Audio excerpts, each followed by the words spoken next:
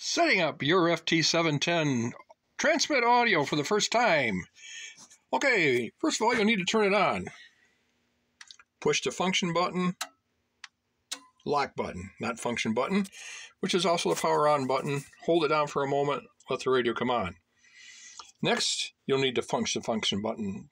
This is a a thingamajiggy, and it's also a function button.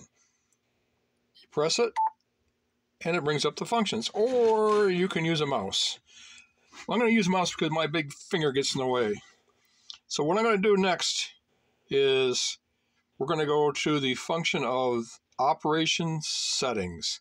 And I'm going to click that on. Or I can stab it with my fingers. Gotta stab it up here, right there. Easier with a wire in mouse.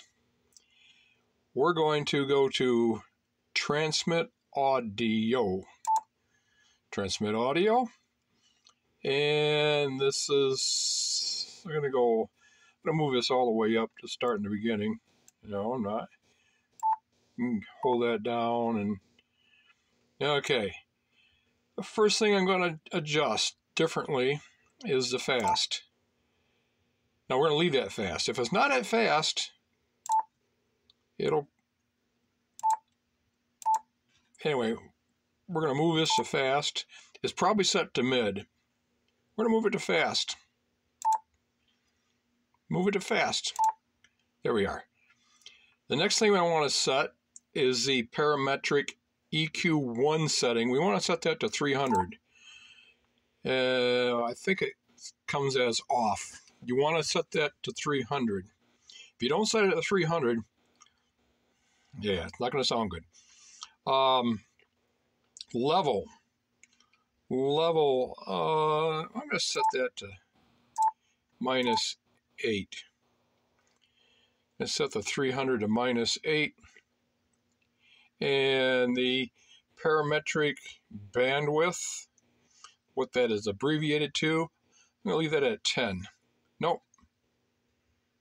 I want that at 8. So we're going to, come on, get over there. Want that at 8. Next is the um, parametric EQ2. I want that 1100. So we got it at 1100. You can go higher, you can go lower, but 1100 is good. Next is the parametric level, and that's set at 9 and 9, 10. Give it, give it the beans. The higher, the more output at that frequency it's going to be. I got my set at 9. You can set yours at 8, 9, 10. Bandwidth, again, this is set at 2. Now, the lower the number, the wider the bandwidth. And the higher the number, the narrower the bandwidth. And that's, anyway, in the mid range, you want to get it kind of wide to start with, anyway. Next is parametric EQ3, which I've set for 2400. You can, you know, you don't have to be at 2400. You can 22, 21. It's all good. I got the I got the uh, level set for maximum beans at 10. And I've got the bandwidth set for maximal bandwidth at 0. Now we can keep going up. This is this is processor parametric EQ1. This is when you got your processor on, which by the way I like to run all the time, and there's a reason for that. Um, the radio will do, in my opinion, it will do. It could it could do things to your transmit and make it sound weak um, without it on. So anyway, these are pretty much set at the same settings that I just showed you up here on the parametric EQ. This is processor EQ. This is without processor up here. So they're set at three. Same thing. They're set at 300 minus 8. I got the bandwidth set at 2. That's this, anything in yellow is where the factory had it set. Notice most of the stuff is not in yellow.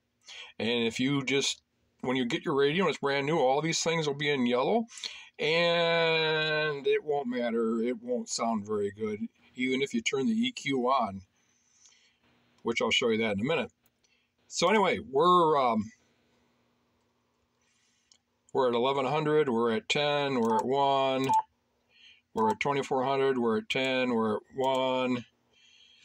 So that's pretty good. That finishes that up. Uh, it's, um, don't worry about TQ, TX general. Let's go back.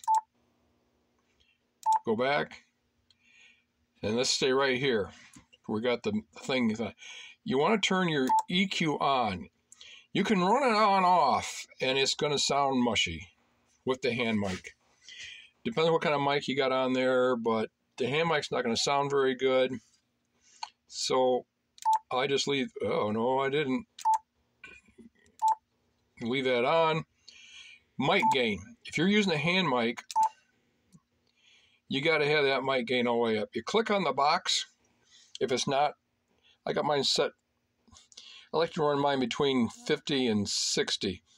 So with the once your box is clicked in, you got to get to your function knob and you got to turn it. No, you got to click it again. Okay, see up here? It says mic gain. Watch when I turn this knob. Okay, now it's going up and down. It'll probably be pretty low when you get your radio out of the box. You're going to want to turn it up the hand mic, the stock hand mic that it comes with, not got a lot of gain to it. So 55 works good, 60 depends upon your voice. Anyway, next thing you want to do is turn the processor on. Here it is right here. You click that box. Now look up here. It says proc level. Proc level. And you start turning the knob and it's going to be off. When you take it out of the box, it's going to be off. So you need to turn, even though you, yeah, so it's going to be off. So now you turn it up. You can run this. I like to run it between 50 and 60 again. Why? Because those are easy numbers. And they work the best for my voice. And I don't have a lot of uh, room acoustics going on. So the room that you're that I'm in right now is pretty quiet. Um, if you turn that up a lot, you're just going to pick up more room acoustics. Turn it down, you get rid of that. And fan noise and things like that. Anyway, that's pretty much how you turn on your, uh, you set up your uh, transmit audio. And once again, we'll look at the, the functions and you know, and you might want to turn your power up. You can listen to yourself if you turn the monitor on. But these three settings, oh, an AMC level, that stands for automatic mic control. Set that for 100. You see the things up here in the boxes at AMC now. And it just, you can turn it down. Um, it gets kind of a weak sound to it. It's got a better sound here. It's not distorted. You can turn it all the way up and it basically won't distort. So uh, that's where we're at. We've got um, mic gain set at 55. EQ is on. Again, if you don't have the EQ on, it's going to sound muffled it's going to be hard for people to comprehend you. Um, so anyway, turn the EQ on and then turn your processor on and get to some level, um, like 50 to 60. Make sure the AMC is at uh, 100%. You can turn on your Vox gain wherever it likes. So there's also Vox delay. I got mine set at 52 and my Vox delay is at 600 milliseconds and I got no anti-Vox because I use headphones and I don't have to worry about uh, somebody keying up my radio when they're coming through my speaker. So that's uh, that's the story here. Hope this helps with your uh, basic first time mic microphone transmit audio equalizer settings. Bye for now.